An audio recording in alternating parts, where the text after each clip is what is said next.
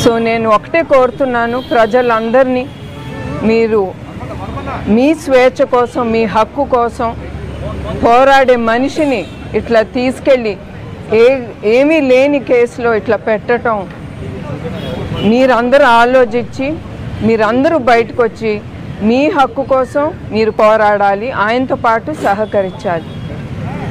ఇప్పుడు నేను వచ్చి ఆయన్ని చూసి నేను బయటకు వచ్చేటప్పుడు ఒక భాగం ఏదో అక్కడ వదిలేసి వచ్చినట్టు ఉంది. ఇది చాలా టఫ్ టైము ఫ్యామిలీకి.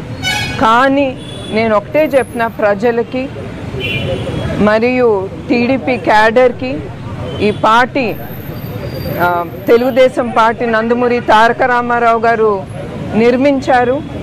అది ఎటు అవ- ఎక్కడికి వెళ్ళదు. ఈ కుటుంబం ఎప్పుడు క్యాడర్ కోసం ప్రజల కోసం పోరాడి నిలుస్తుంది. అది మా కుటుంబం తరఫు నుంచి నేను హామీ ఇస్తున్నాను.